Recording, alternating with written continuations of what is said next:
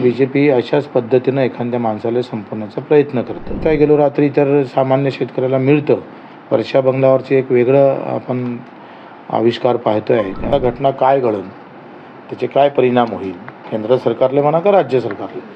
ते काही सांगता येत नाही. पर्जन्यमापक यंत्र जे राहतं ना त्याच्यावर कोणी खरं तर एकदा तरी दोन तीन महिन्यातून एकदा व्हिजिट झाली पाहिजे. तिथल्या काही गवत कचरा वाढला असेल तर तो साफ केला पाहिजे. पण ते काही यंत्रणा आपल्याकडे नाही आहे. प्लास्टिक ते असणं फार महत्त्वाचं आहे. महाराष्ट्रामध्ये बऱ्याच ठिकाणी असं होत असेल.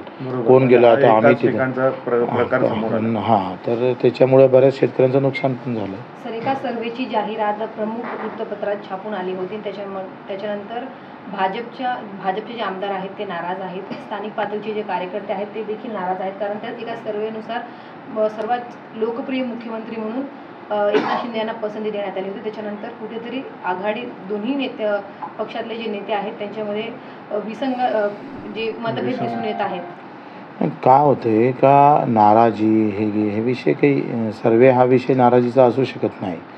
आणि त्याच्यात तुम्ही नाराजी दाखवली तर सर्वे बदलू शकत नाही. त्याच्यानं मला वाटतं हुशार चांगले आणि प्रामाणिक कार्यकर्ते अशा गोष्टीवर नाराज होत नाही. या जाहिरातीनंतर भाजपचे जे नेते आहेत ते थेट मुख्यमंत्री एकनाथ शिंदे यांच्यावरती बोलताना दिसत आहेत. ठाणे म्हणजेच महाराष्ट्र नाही अशा प्रकारे ते वक्तव्य करत आहेत. तो मूर्खपणा आहे. खरं तर असं जर काही कार्यकर्त्यांनी बी जे पीच्या केलं तर बी जे पीची प्रतिमा मिलीन होईल. शिंदेसाहेबाची होणार नाही. लोकांना काय वाटते मला पण बऱ्याच लोकांनी सांगितलं तर बी जे पी अशाच पद्धतीनं एखाद्या माणसाला संपवण्याचा प्रयत्न करतं. ते जर हे शिंदेसाहेबाबद्दल सत्य झालं तर त्यांची लोकप्रियता कुठल्या काय बोलल्यानं कसं कमी करायची?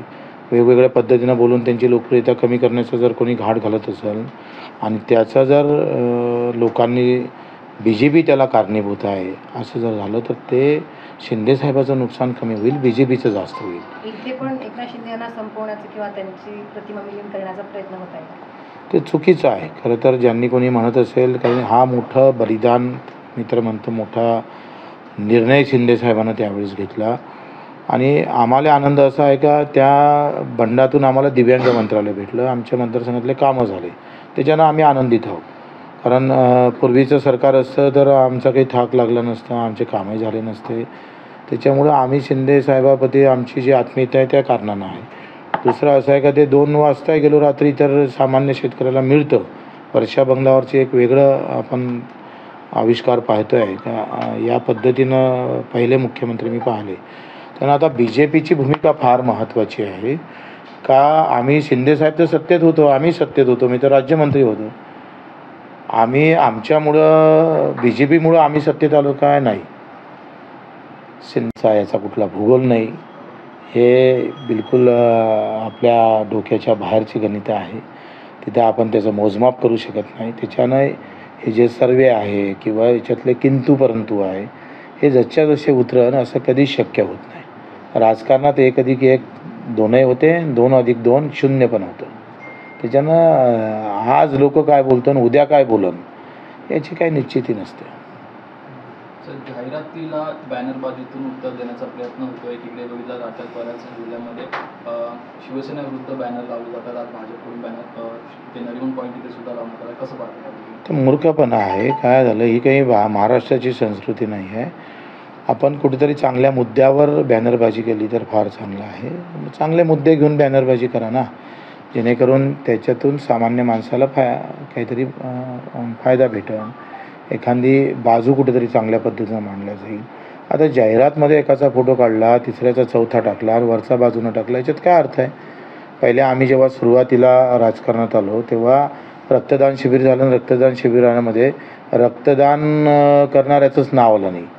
ज्यानं रक्तदान केलं नाही त्याचं नाव आलं. मग ते कार्यकर्ते नाराज झाले. त्यांना मी सांगितलं का तू बॅनरमध्ये नाव यासाठी केलं होतं का तुला कोणाला वाचवासाठी केलं होतं? हे दोन प्रकार आहे. काही जण नावासाठी रक्तदान करतात काही जण वाचवासाठी करतात. त्याच्यातला हा प्रकार आहे काही कार्यकर्त्याचा. जाहिरात उलटी काढली एवढे मोठे राजकारणी लोकांना जाहिरातीमध्ये काय टाकावं आणि त्याच्यासाठी तुम्ही भांडत असाल आणि तो मुद्दा जर चर्चेला येत असेल तर चुकीचा आहे. शिंदेची लोकप्रियता कशी आहे शिंदे कसं आहे काम आता तुम्ही इथं इथं जर इथं बसले आहेत तुम्हाला तुमच्या चार जणांना विचारलं तर तुम्हाला कोणाला उद्धव साहेब आवडतात कोणाला राहुल गांधी आवडते कोणाला मोदी साहेब आवडतात कोणाला शिंदे साहेब आवडते. प्रत्येकाची आपापली हे असतं. आखरी लोकप्रियतेला काही ते अशी एकादमान लोकप्रियता येत नाही. अजून बराच काळ आहे बरेच संघर्ष आहे बरेच काम करावं लागेल त्याग करावं लागेल.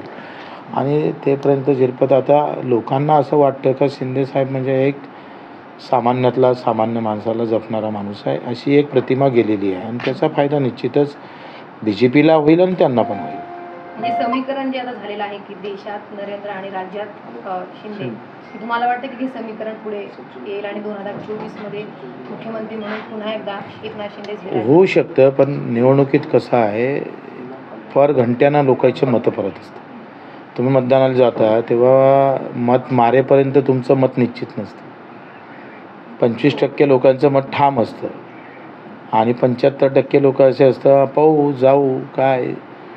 इथं डे टू डे डाटा सगळं डेटा बदलत असतं सगळ्या विचारसरणी बदल आता एखादा घटना काय घडन त्याचे काय परिणाम होईल? केंद्र सरकारले म्हणा का राज्य सरकारले? ते काही सांगता येत नाही. आखरी निवडणूक राजकारण याचे कुठले गणित नाही यांचा याचा कुठला भूगोल नाही.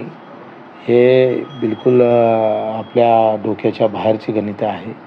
तिथे आपण त्याचं मोजमाप करू शकत नाही. त्याच्यानं हे जे सर्वे आहे किंवा याच्यात